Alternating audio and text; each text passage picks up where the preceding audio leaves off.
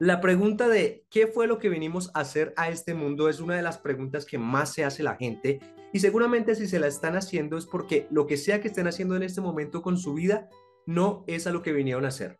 Puede que eso que estén haciendo actualmente sea bueno, sea cómodo, les esté dando buen dinero, lo que sea, pero si todavía sigue esa pregunta latente es porque no sienten la afinidad, no sienten el enganche con eso y saben que hay algo más, saben que hay como una especie de tierra prometida para ellos que aún no están viviendo.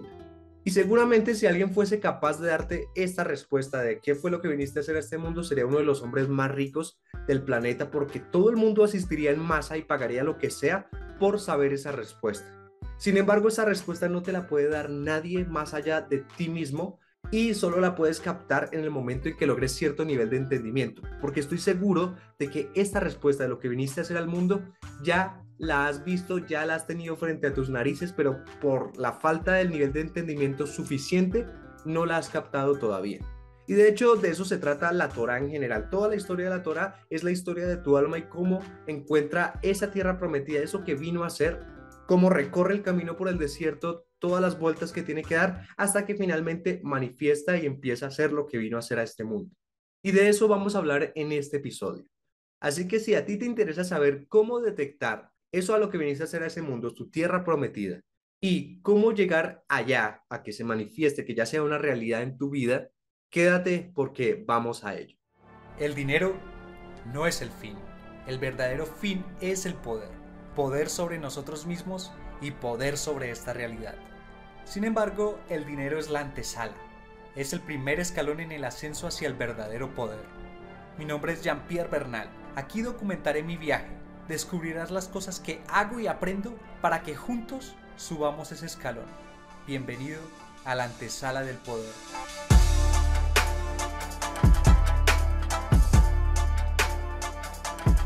Bueno, bueno, bueno, poderoso, poderosa, bienvenido, bienvenida a este episodio número 320.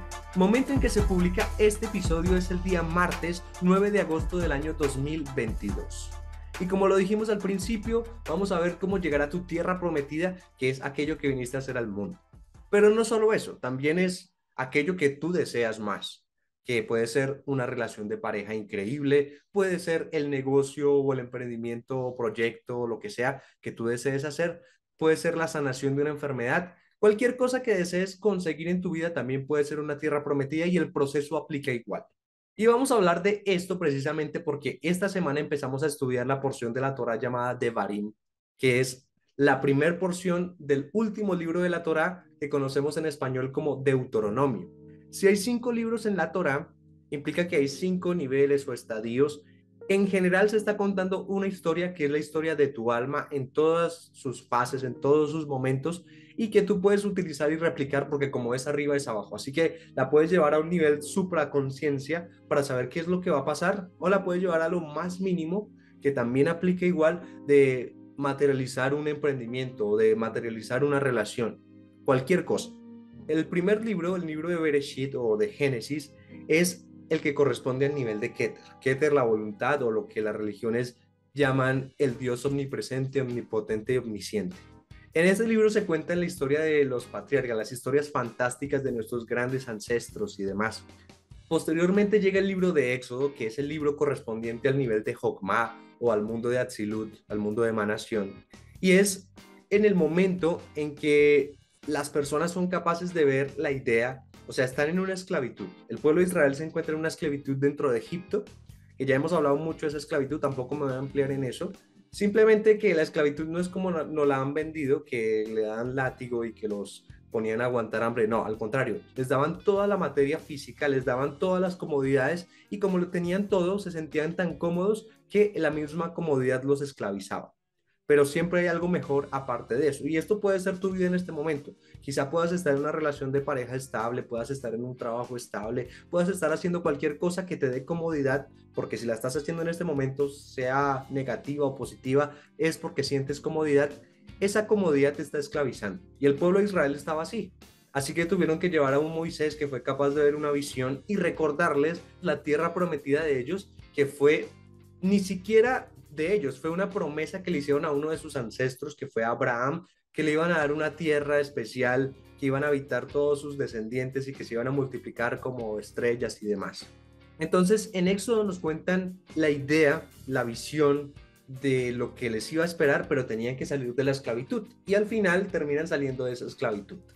Posteriormente llega el libro de Levítico, que está conectado con el nivel de Biná, con el nivel del entendimiento, o sea, con el mundo de Briá, el mundo de la creación, y nos muestran bajo qué preceptos, bajo qué normas, bajo qué lineamientos tienen que moverse. De hecho, se dice que cuando una persona va a estudiar Torah por primera vez, debería empezar con ese libro. Es el inicio del viaje, pero también donde podríamos decirlo, les dicen cuáles son los lineamientos que tienen que seguir durante ese viaje. Después de Levítico viene el libro de números, que en realidad en hebreo no es números, sino Bamidbar, en el desierto, porque se refiere a todo el nivel de Seirampin, que es donde sucede el trabajo emocional y también el espiritual, porque una persona que trabaja su espiritualidad refina sus emociones.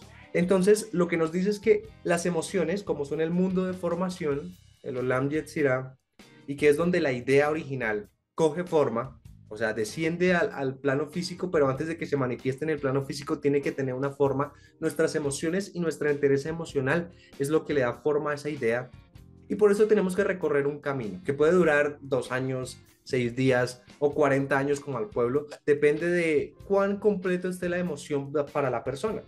Entonces es el libro, por decirlo así, donde hay más historias, donde se ve mayor carácter o esencia humana en los personajes que aparecen en estas historias. Y es todo el transitar por el desierto hasta que llegan a el límite con la tierra prometida. Y finalmente Deuteronomio, que es el libro que estamos iniciando a estudiar esta semana, tiene que ver con la manifestación, que es cuando ya atraviesan el límite, llegan a la tierra prometida, la conquistan y demás. Obviamente, este libro de Deuteronomio son los últimos días de vida de Moshe, porque él no puede entrar a la tierra prometida, pero bueno, si ves esto, es la historia de tu alma. Da igual si esa historia bíblica ocurrió o no, porque ya lo hemos dicho que es como una especie de caricatura, un cómic interesante el cual esconde detrás de sí un secreto metafísico que es lo que nos interesa saber. Y si lo hiciera de forma muy general, tampoco me quiero ampliarlo, quiero dejarlo más aplicable posible. Imagínate esto, tú cuando eras niño sentías que venías por cosas grandes, e incluso todavía lo puedes sentir en este momento, en tu adolescencia, juventud, adultez, vejez, lo que sea, sientes de que viniste para algo grande pero las cosas en la vida te hicieron creer de que no era así y te empezaron a llenar de comodidades y por eso caíste en una esclavitud que de pronto no sientes esclavitud por la misma comodidad. Y esas cosas son todas del mundo material, o sea, redes sociales, entretenimiento, un empleo estable, lo que sea que te haya hecho creer que no haya algo mejor de lo que sea que tengas en este momento.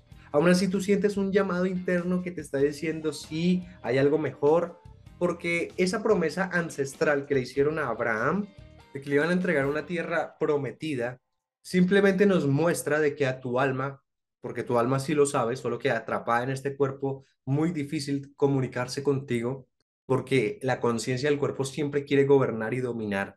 Tu alma sabe que hay algo más grande para ti, que tiene un plan de vida y que debería lograr algo más grande. Imagínate que es como un videojuego y que hay una misión principal. Y también hay otras misiones secundarias que solo se activan cuando tú lograste la misión principal, que es tu tikkun, tu corrección pero pues la conciencia del cuerpo que está tan inmersa en la materia lo que te hace es creer de que eso no va a pasar. O incluso hace lo posible para anularte la vista y que no seas capaz de ver. Y esa tierra prometida que le prometen a Abraham es para nosotros también una tierra prometida que se puede manifestar en lo que ya dijimos.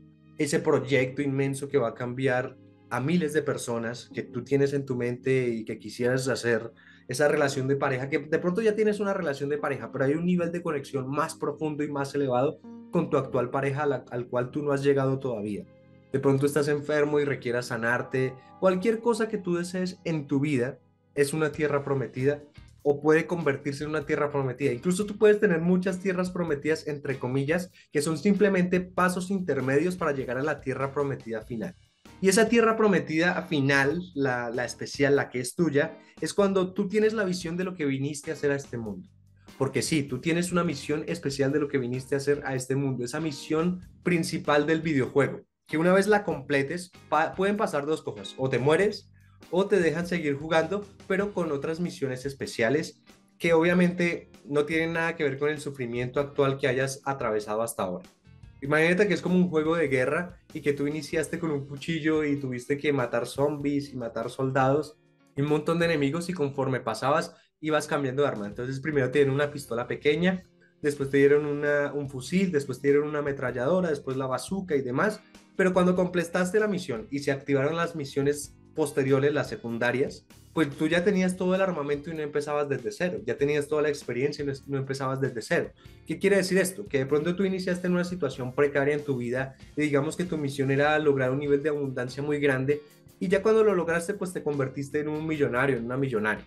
Y después se activan otras misiones secundarias que puede ser crear organizaciones sin ánimo de lucro, cambiarle la vida a otras personas, adoptar a un niño, no sé, cualquier cosa pero tú ya tienes los recursos de los millones que ganaste haciendo tu misión principal. O sea que no empiezas de cero esas cosas. Y ya tienes una experiencia, una sabiduría y demás. De eso se trata.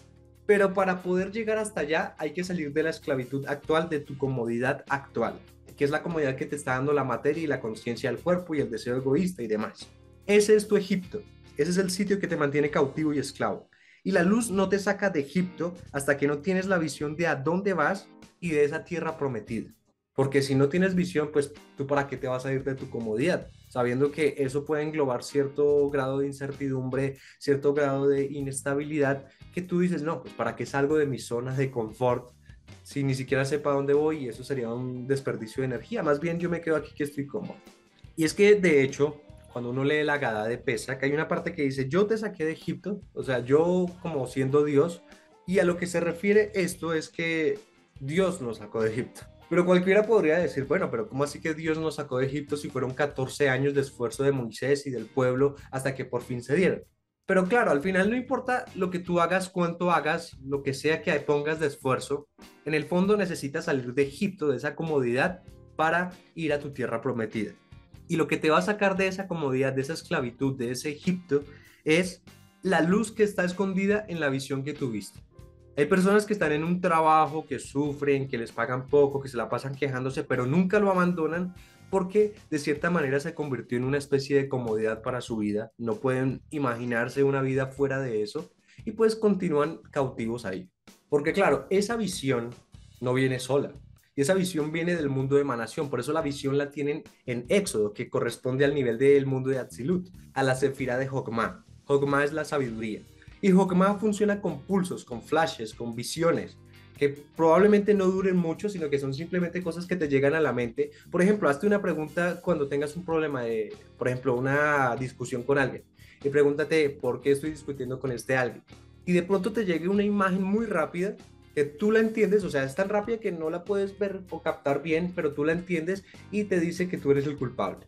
La mayoría de las personas ignoran eso que viene desde Hokmah, que viene desde el mundo de Atzilut, desde el mundo de emanación y que le está diciendo lo que verdaderamente es. Y ya lo vimos en un episodio. Esa energía igual está ahí potencialmente y si la persona no se abre la mente para dejar que entre, lo que hace es que esa energía se va para los mundos del caos, se va para un punto metafísico llamado Balak que es el que activa las maldiciones en la persona. Y maldiciones no solo que le hagan trabajo de magia negra y demás, sino también de que sea propenso a que de pronto si alguien le dice estúpido, sí sea un estúpido. Entonces por eso la visión de que hay una tierra prometida la tienen en Éxodo, cuando están esclavos, y esa visión, o mejor, la luz que hay detrás de la visión es lo que los saca de ahí. Y la luz de Atzilut es la que podríamos llamar Dios. Por eso dice, y yo te saqué de Egipto porque ese futuro superador, eso que desearías lograr, es lo que te da la luz o ese motor para que el árbol, el sistema empiece a funcionar y tú puedas tener la fuerza de salir de esa esclavitud. Pero lógicamente tú tienes que entender la idea. Porque un ejemplo muy sencillo, si a mí me llega la idea de una melodía musical y yo no tengo ni idea de música, pues por muy divina y por muy hermosa que suene en mi cabeza, yo nunca la voy a poder manifestar porque no tengo el entendimiento musical para hacerlo. No sé qué notas son, no sé en qué tonalidad están, no sé qué, qué instrumentos utilizar para eso. Entonces, pues esa idea o esa visión que tengo a nivel musical no se va a poder materializar porque no la entiendo.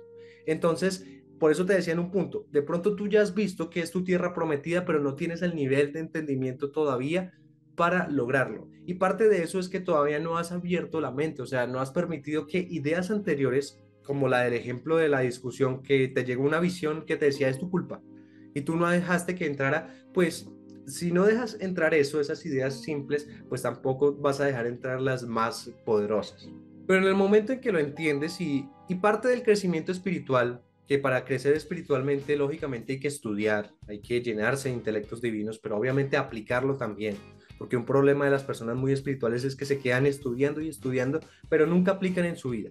Cuando tú empiezas a aplicar las cosas y empiezas a tener una evolución y un refinamiento espiritual, o sea, emocional, eso le abre paso a un nivel de alma llamado Neshama, porque el trabajo espiritual lo que hace es precipitar un nivel de alma llamado Ruach, que lo traducimos como espíritu. El espíritu es el recipiente de un alma intelectual que se llama Neshama. Y entre más nivel de alma Neshama tengas, pues más acceso tendrás de pensamientos profundos, pero también más poder de entendimiento de esos pensamientos profundos. Entonces parte del crecimiento espiritual tiene que ver con eso, con que tú llegues a cierto nivel de entendimiento para que la sabiduría a la que tengas acceso puedas entenderla o puedas entenderla cada vez más, porque también hay 125 niveles de entendimiento, pero tampoco me quiero ampliar por ahí. Simplemente que cuando empiezas a crecer espiritualmente, parte de los resultados que obtienes es un mayor entendimiento. Y cuando llegas a cierto nivel de entendimiento en ese crecimiento, vas a ser capaz de captar la luz que viste en Jokma, esa idea, esa visión, y vas a entender por fin de qué se trataba tu tierra prometida.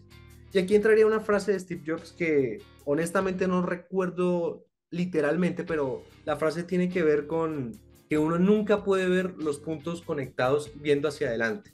Solo los puede ver conectados cuando uno mira hacia atrás en el pasado. Y cuando uno mira hacia atrás en el pasado se da cuenta que todo lo que pasó tenía que pasar de esa manera para llegar hasta el punto en el que estoy, o sea, que era necesario. Y lo único que yo puedo hacer o lo que tengo que hacer es confiar que en el futuro viene eso. Y cuando llegues a cierto nivel de entendimiento te vas a dar cuenta, bueno, con razón yo estudié lo que estudié, con razón en mi juventud me pasó X, Y y Z, con razón cuando niño crecí con este padre que era así o con esta madre que era así, vas a entenderlo todo. Todo eso que te ha pasado hasta ahora, lo único que te está diciendo es, mira, esta es tu tierra prometida, solo que todavía no lo has captado, o por lo menos a un nivel más profundo por la falta de entendimiento. De todas formas, de eso se trata, y por eso la salida de Egipto viene después con la parte creativa el mundo de creación, porque es cuando yo ya entiendo la idea a nivel intelectual y quiero ver cómo puedo coger ese entendimiento intelectual para plasmarlo en mi realidad física. Y cuando ya tengo eso, sigue el libro del desierto, Bamidbar, eh, números. Y ahí es donde inicio la travesía, que es a donde más la gente se queda o se asusta y se devuelve a su zona de confort porque es un desierto y el desierto hay que atravesarlo y no es fácil. O sea, en un desierto físico, los que existen en el mundo, es mucho calor por el día, mucho frío por la noche. Y hay gente que se puede morir por deshidratación, por la razón que sea.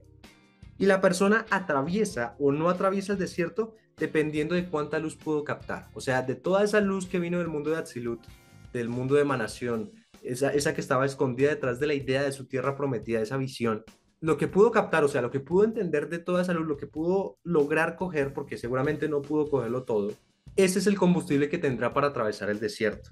Y si no pudo entenderlo lo suficiente, pues se va a quedar a mitad de camino y es cuando las personas sufren y sienten que fallaron. Porque como no llegaron y se quedaron sin combustible, pues sienten que fallaron y, terminan volviendo al, lugar de donde salieron.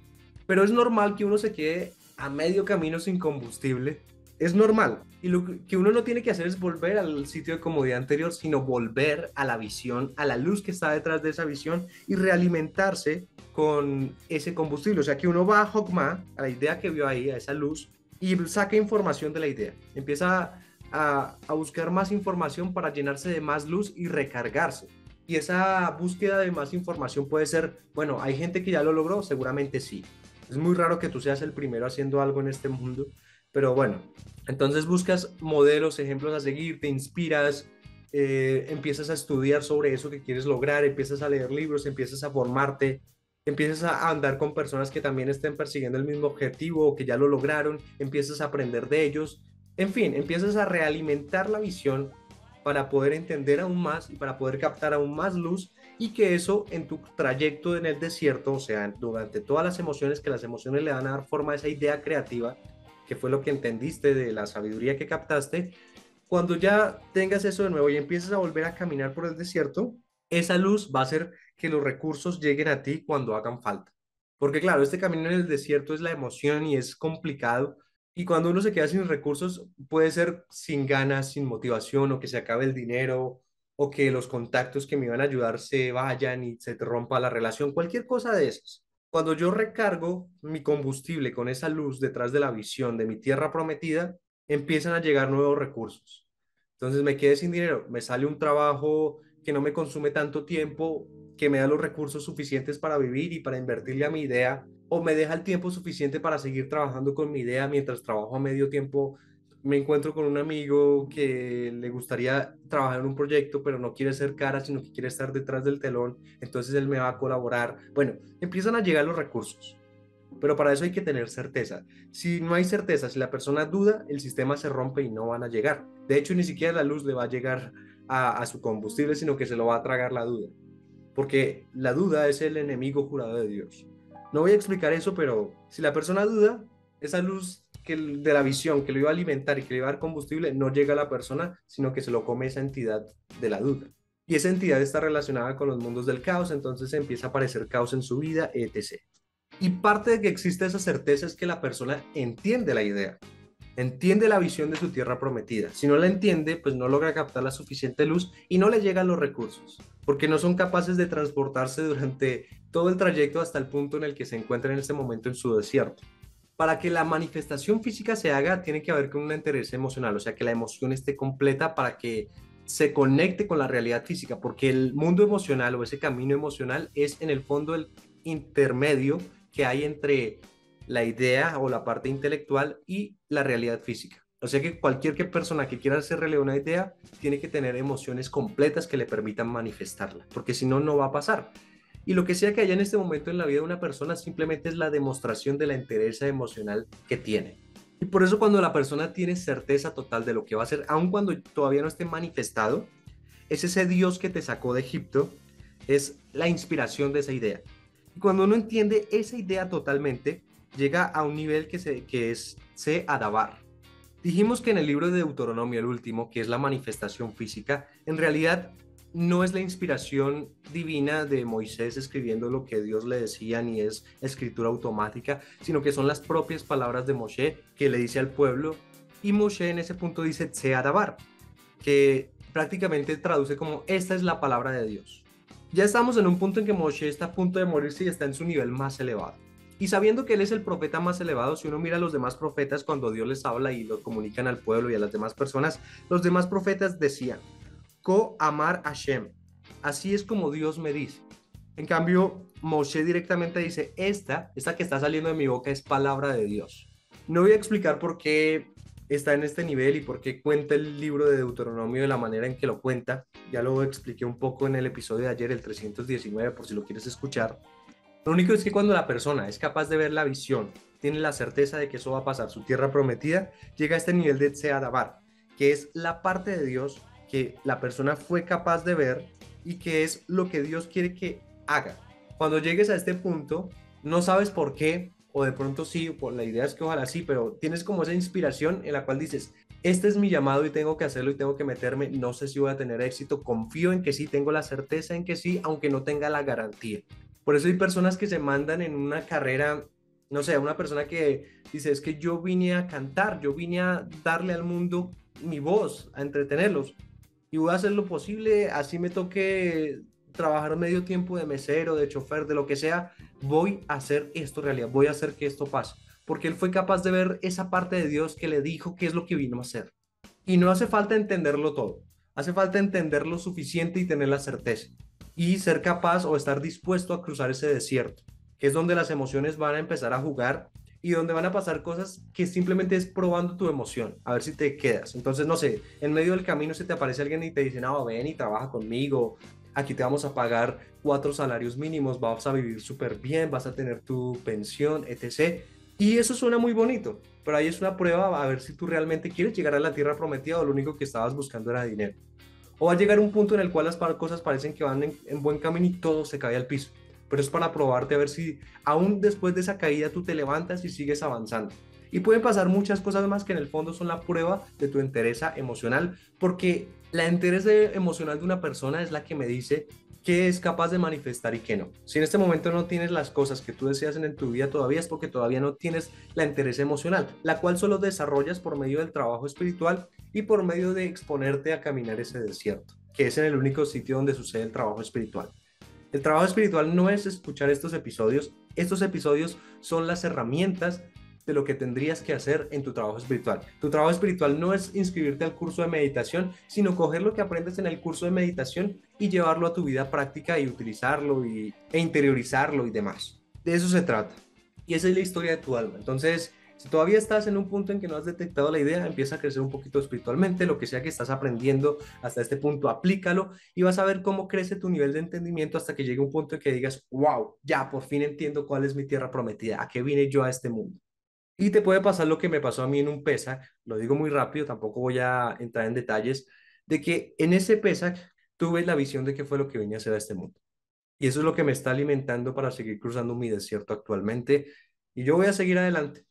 Espero que tú tengas la oportunidad de verlo lo más pronto posible. Y con esto concluimos este episodio, no sin antes decirte tres cosas muy rápidas. La primera es que si consideras que este episodio le puede aportar a otras personas para que puedan lograr la visión de su tierra prometida, compárteles este episodio. Lo segundo es que este podcast, La Antesala del Poder, tiene una comunidad de personas que ya están siendo capaces de entender la visión de su tierra prometida y están trabajando para llegar allá. Si tú eres una persona así o deseas llegar a ese punto, esta comunidad es para ti, así que te invito a pertenecer a la comunidad. Para ello, en la descripción de este episodio vas a encontrar dos enlaces, uno hacia un canal de Telegram, otro hacia un grupo de WhatsApp. En ambos estamos forjando la comunidad, te puedes unir a ambos o te puedes unir al que te quede más cómodo. Si por alguna razón decides no unirte a la comunidad, no te preocupes, eso no significa que eres un esclavo de Egipto ni nada, no, es una decisión totalmente respetable. Al contrario, muchas gracias por haber llegado hasta acá. No me restaría más que decirte la tercera cosa, que es invitarte a escuchar los episodios que ya están publicados, como invitarte a permanecer pendiente porque estamos publicando episodios todos los días. Sin más por agregar, que llegues a tu tierra prometida. Te agradezco mucho por haber escuchado este episodio. Bendigo tu camino. Te invito a revisar los episodios que ya están publicados y te invito a compartirlos por si consideras que esto es bastante interesante para que otras personas también se enteren. En la descripción de este episodio vas a encontrar enlaces para la comunidad del podcast, así puedes hacer parte de ella y también enlaces con los cuales puedes contactarme ya sea que tengas una propuesta, un negocio o lo que sea. Sin más por decir, Gracias poderoso, nos vemos en un próximo episodio.